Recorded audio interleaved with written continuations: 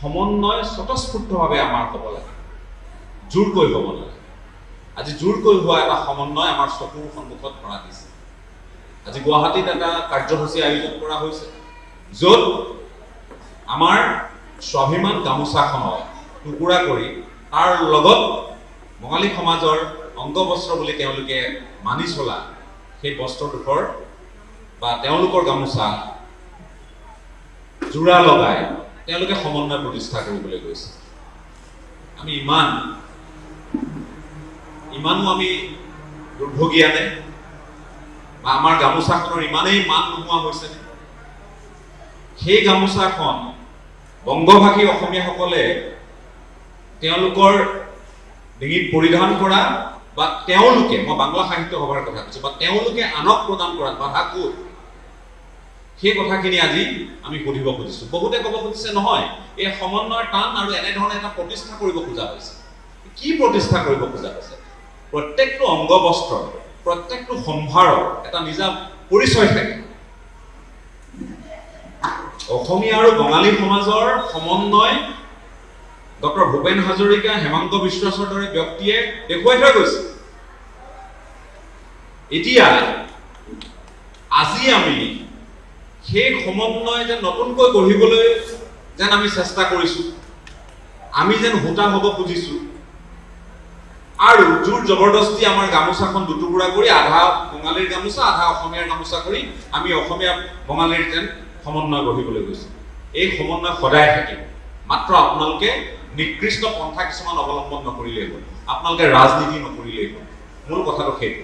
সেই কথাখিনি হোজাইত মই কিয় কৈছো? হোজাইৰে প্ৰাক্তন বিধায়কগৰাকীয়ে আজি এই বিষয়ত তেওঁলোকৰ আমি কিছু ভূমিকা আমি দেখিছো। মই খোলা খুলিকৈ কথাবোৰ কৈ ভাল পাওঁ কাৰণে হোজাইতে কৈছো মই কথাখিনি যে দুয়োখন গামোচা দিয়াত আপত্তি ক'ত আছে? যদি আমি সন্মানে জনাব লাগে দুয়োখন গামোচা আমি দিওঁ। অসমীয়া সমাজৰ অংগ বস্ত্ৰও দিলোঁ আমি বঙালী সমাজৰ অংগ বস্ত্ৰও দিলোঁ। ঠিক আছে। আমিতো কোৱা নাই যে দিব নালাগে। কিন্তু কথাটো হ'লে কাটি টুকুৰা কৰি এই যে এবিধ আমি যে কওঁ আমি যে শংকৰ ধাতু প্ৰস্তুত কৰোঁ শংকৰ গামোচা আমি প্ৰস্তুত কৰি আমি কি সূচাব খুজিছো কি বুজাব খুজিছো? আৰু কিমান আমি তললৈ নাম? এনেই গামোচাখনৰ অৱস্থা থৈ গছ এনেই গামোচাখন আমি স্বাভিমান স্বাভিমান বুলি কৈ আমি বনিয়াৰ গুদামৰ পৰা কেৰচিন কেৰচিন গোন্ধোৱা গামোচালৈ ঘূৰি ফুৰোঁ। আৰু আমি বীৰদৰ্পে অসমীয়া বুলি নিজকে চিনাকি দিওঁ এই পৰিৱেশটো নোহোৱা কৰিবলৈ এগৰাকী অসম সন্তান হিচাপে আমি ঠাই বিশেষে যেতিয়াই সুবিধা পাইছো কথাবোৰ কৈছো। আমাৰো স্বাভিমানত লাগে। যেতিয়া কেৰচিন কেৰচিন থকা গামোচা এখন কোনোবাই আপোনাক পিন্ধাই দিয়ে। এতিয়া কথাটো হ'ল এই বিবেকটো কৰবাত থৈ ডিঙিটো আগবঢ়াই দি গামোচাখনটো লৈ লাভ নাই। যদি সেইখন আমাৰ স্বাভিমান স্বাভিমানৰ চানেকি বহন নকৰে। আমি আহ্বান জনাই আহিছিলো বিভিন্ন ঠাইত। মই সৌ সিদিনা বিজু ফুকন বঁটা ল'বলৈ যাওঁতেও কৈছো। তেওঁৰ স্মাৰক বঁটা ল'বলৈ যাওঁতে কৈছো গামোচাখন মই নলওঁ। তাৰ আগতেও মই কৈছো তেনেধৰণৰ দুই এটা অনুষ্ঠানত যে মই কোন চাতে নলওঁ কাৰণ মই এখন ল'ব নোৱাৰো এইখন আমাৰ নহয়েই মই ল'ম কে কিদৰে?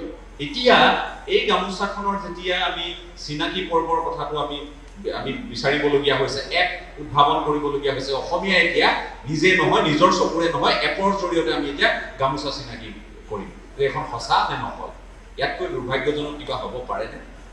আৰু সেই সময়ছোৱাত আপুনি গামোচাখন দুটকৰ কৰি সমন্বয় প্ৰতিষ্ঠা কৰিবলৈ গৈছে। সমন্বয় থাকিবই সমন্বয় আছিল সংঘাতৰ অৱসান প্ৰায়ে হৈছে এতিয়া বহু ক্ষেত্ৰত।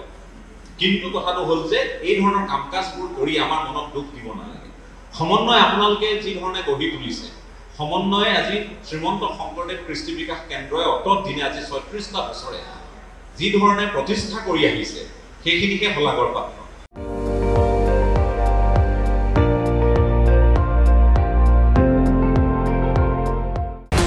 আপুনি চাই আছে এন ডি টুৱেণ্টি ফ'ৰ। সৰ্বশ্ৰেষ্ঠ নহয় সৰ্বোত্তমৰ দৌৰত